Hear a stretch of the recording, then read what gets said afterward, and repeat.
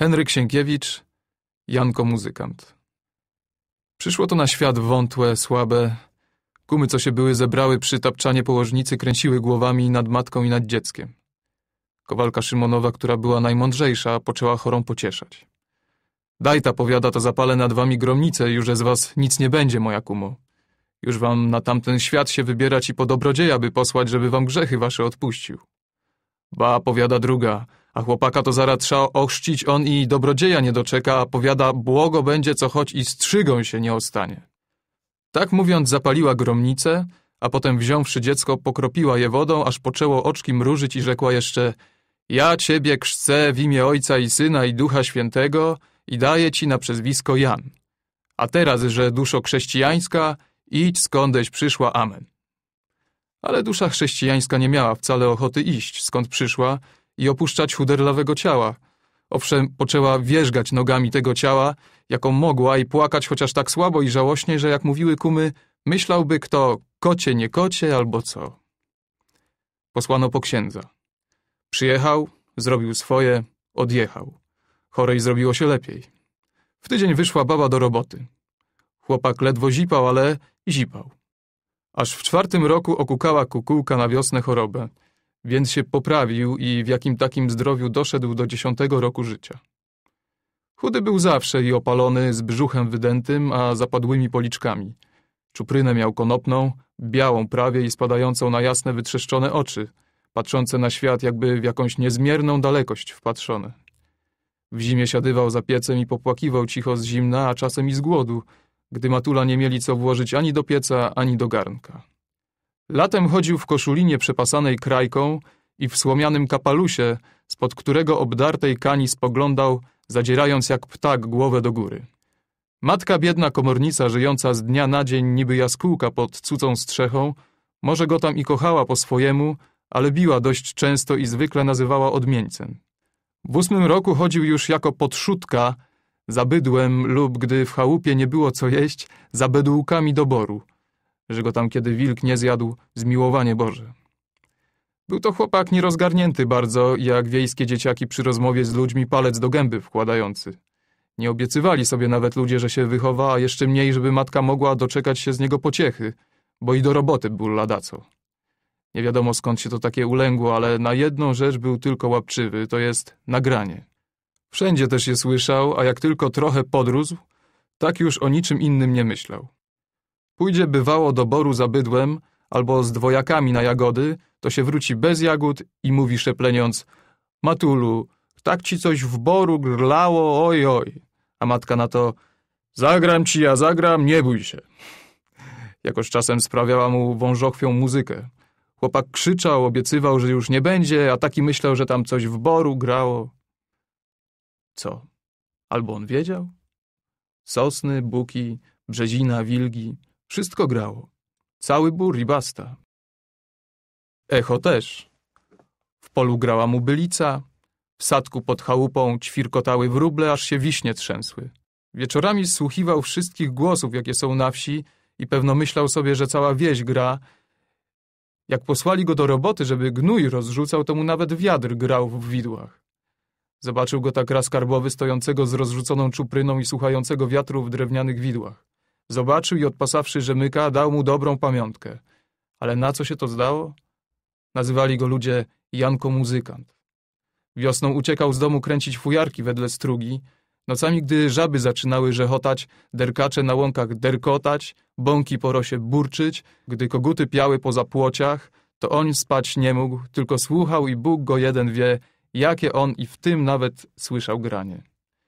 Do kościoła matka nie mogła go brać, bo jak bywało zahuczą organy lub zaśpiewają słodkim głosem, to dziecku oczy tak mgłą zachodzą, jakby już nie z tego świata patrzyły. Stójka, co chodził nocą po wsi i aby nie zasnąć, liczył gwiazdy na niebie lub rozmawiał po cichu z psami, widział nieraz białą koszulę Janka przemykającą się w ciemności ku karczmie. Ale przecież chłopak nie do karczmy chodził, tylko pod karczmę. Tam przyczaiwszy się pod murem, słuchał.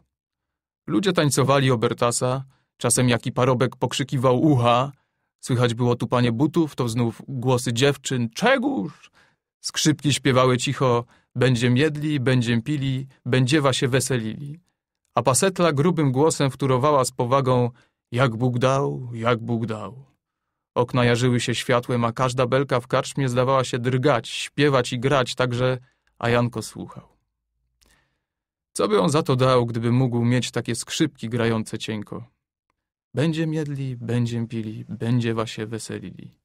Takie deszczułki śpiewające, ba! Ale skąd ich dostać? Gdzie takie robią? Żeby mu przynajmniej pozwolili choć raz w rękę wziąć coś takiego. Gdzie tam?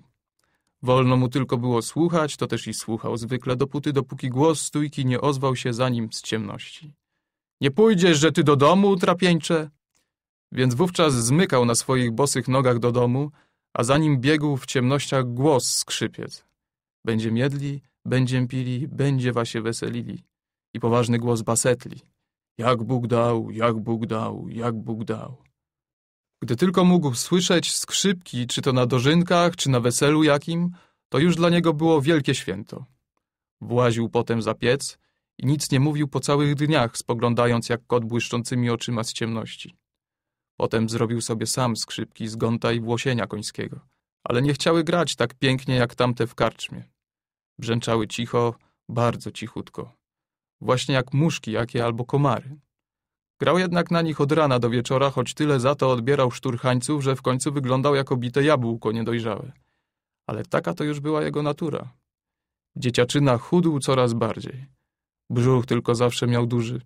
Czuprynę coraz gęstszą i oczy coraz szerzej otwarte, choć najczęściej łzami zalane, ale policzki i piersi wpadały mu coraz głębiej i głębiej. Wcale nie był jak inne dzieci. Był raczej jak jego skrzypki z gonta, które zaledwie brzęczały. Na przednówku przy tym przymierał głodem, bo żył najczęściej surową marfią i także chęcią posiadania skrzypek. Ale ta chęć nie wyszła mu na dobre. We dworze miał skrzypce lokaj i grywał czasem na nich szarą godziną, aby się podobać pannie służącej. Janko czasem podczołgiwał się między łopuchami, aż pod otwarte drzwi kredensu, żeby im się przypatrzeć. Wisiały właśnie na ścianie naprzeciw drzwi. Więc tam chłopak duszę swoją całą wysyłał ku nim przez oczy, bo mu się zdawało, że to niedostępna jakaś dla niego świętość, której nie godzien tknąć, że to jakieś jego najdroższe ukochanie. A jednak pożądał ich. Chciałby przynajmniej raz mieć je w ręku, przynajmniej przypatrzeć się im bliżej. Biedne, małe chłopskie serce drżało na tę myśl ze szczęścia. Pewnej nocy nikogo nie było w kredensie. Państwo od dawna siedzieli za granicą, dom stał pustkami, więc lokaj przesiadywał na drugiej stronie u panny pokojowej. Janko, przyczajony w łopuchach, patrzył już od dawna przez otwarte szerokie drzwi na cel wszystkich swych pożądań. Księżyc właśnie na niebie był pełny i wchodził ukośnie przez okno do kredensu, odbijając je w kształcie wielkiego jasnego kwadratu na przeciwległej ścianie. Ale ten kwadrat zbliżał się powoli do skrzypiec i w końcu oświetlił je zupełnie. Wówczas w ciemnej głębi wydawało się, jakby od nich biła światłość srebrna. Szczególnie wypukłe zgięcia oświecone były tak mocno, że Janek ledwie mógł patrzeć na nie. W onym blasku widać było wszystko doskonale. Wcięte boki, struny i zagiętą rączkę. Kołeczki przy niej świeciły jak robaczki świętojańskie, a wzdłuż zwieszał się smyczek na kształt srebrnego pręta. Ach, wszystko było śliczne i prawie czarodziejskie. Janek też patrzył coraz chciwiej. Przykucnięty w łopuchach z łokciami opartymi o chude kolana, z otwartymi ustami patrzył i patrzył. To strach zatrzymywał go na miejscu, to jakaś nieprzezwyciężona chęć pchała go naprzód. Czy czary jakie, czy co? Ale te skrzypce w jasności czasem zdawały się przybliżać, jakoby płynąc ku dziecku. Chwilami przygasały, aby znowu rozpromienić się jeszcze bardziej. Czary, wyraźne czary. Tymczasem wiatr powiał, Zaszumiały cicho drzewa, załopotały łopuchy, a Janek jakoby wyraźnie usłyszał — idź, Janku. W kredensie nie ma nikogo. Idź, Janku. Noc była widna, jasna. W ogrodzie dworskim nad stawem słowik zaczął śpiewać i pogwizdywać cicho to głośniej — idź, pójdź, weź.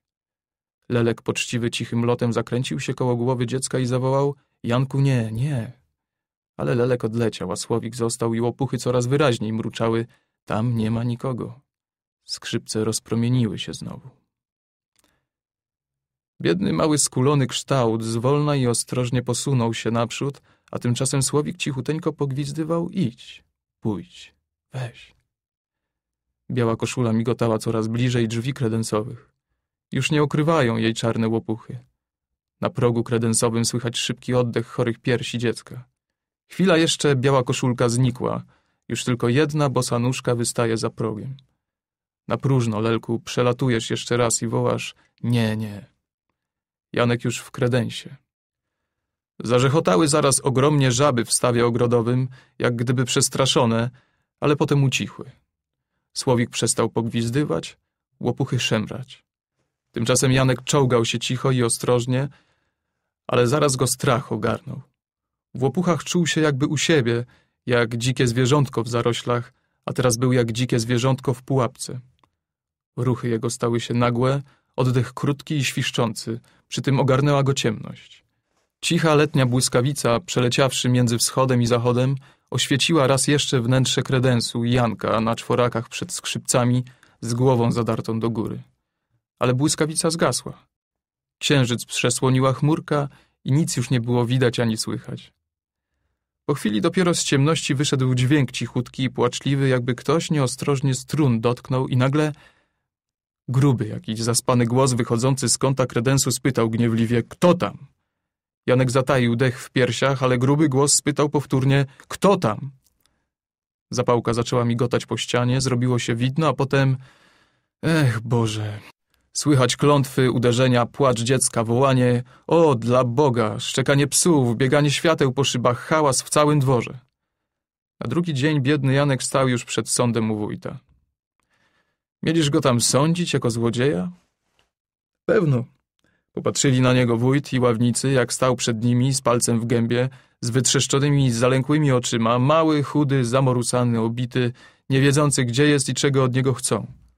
Jakże tu sądzić taką biedę, co ma lat dziesięć i ledwo na nogach stoi? Do więzienia ją posłać, czy jak? Trzebaż przy tym mieć trochę miłosierdzia nad dziećmi. Niech go tam weźmie stójka, niech mu da rózgą, żeby na drugi raz nie kradł jej cała rzecz. Bo pewno, zawołali Stacha, co był stójką, weź go ta i daj mu na pamiątkę. Stach kiwnął swoją głupowatą, zwierzęcą głową, wziął Janka pod pachę, jakby jakiego kociaka i wyniósł ku stodółce. Dziecko czy nie rozumiało, o co chodzi, czy się zalękło, dość, że nie ozwało się ni słowem, patrzyło tylko, jakby patrzył ptak. Albo on wie, co z nim zrobią, dopiero jak go Stach w stodole wziął garścią, rozciągnął na ziemi i podgiąwszy koszulinę machnął od ucha, dopieroż Janek krzyknął – Matulu! I co go stójka rózgą, to on – Matulu, Matulu! Ale coraz ciszej, słabiej, aż za którymś razem ucichło dziecko i nie wołało już Matuli biedne, potrzaskane skrzypki. Ej, głupi, zły Stachu, któż tak dzieci bije? Toż to małe i słabe i zawsze było ledwie żywe. Przyszła matka, zabrała chłopaka, ale musiała go zanieść do domu. Na drugi dzień nie wstał Janek, a trzeciego wieczorem konał już sobie spokojnie na tapczanie pod zgrzebnym kilimkiem. Jaskółki świergotały w czereśni, co rosła pod przyzbą. Promień słońca wchodził przez szybę i oblewał jasnością złotą rozczochraną główkę dziecka i twarz, w której nie zostało kropli krwi. Ów promień był niby gościńcem, po którym mała dusza chłopczyka miała odejść. Dobrze, że choć w chwilę śmierci odchodziła szeroką, słoneczną drogą, bo za życia szła po prawdzie ciernistą. Tymczasem wychudłe piersi poruszały się jeszcze oddechem, a twarz dziecka była jakby zasłuchana w te odgłosy wiejskie, które wchodziły przez otwarte okno. Był to wieczór, więc dziewczęta wracając od siana śpiewały oj na zielonej naruni, a od strugi dochodziło granie fujarek. Janek wsłuchiwał się ostatni raz, jak wieś gra. Na kilimku przy nim leżały jego skrzypki z gonta. Nagle twarz umierającego dziecka rozjaśniła się, a z bielających warg wyszedł szept. Matulu. Co, synku, ozwała się matka, którą dusiły łzy. Matulu, Pan Bóg mi da w niebie prawdziwe skrzypki. Da ci, synku, da, odrzekła matka, ale nie mogła dłużej mówić, bo nagle z jej twardej piersi buchnęła wzbierająca żałość, więc jęknąwszy tylko o Jezu, Jezu, padła twarzą na skrzynię i zaczęła ryczeć, jakby straciła rozum, albo jak człowiek, co widzi, że od śmierci nie wydrze swego kochania. Jakoż nie wydarło go, bo gdy podniósłszy się znowu spojrzała na dziecko, oczy małego grajka były otwarte wprawdzie, ale nieruchome. Twarz zaś poważna bardzo, mroczna i stężała. Promień słoneczny odszedł także. Pokój ci, Janku. Nazajutrz powrócili państwo do dworu z Włoch wraz z panną i kawalerem, co się o nią starał. Kawaler mówił quel beau pays que l'Italie. I co to za lud artystów? On est erreur de chercher la badatillon et de les protéger, dodała panna. Nad Jankiem szumiały brzozy.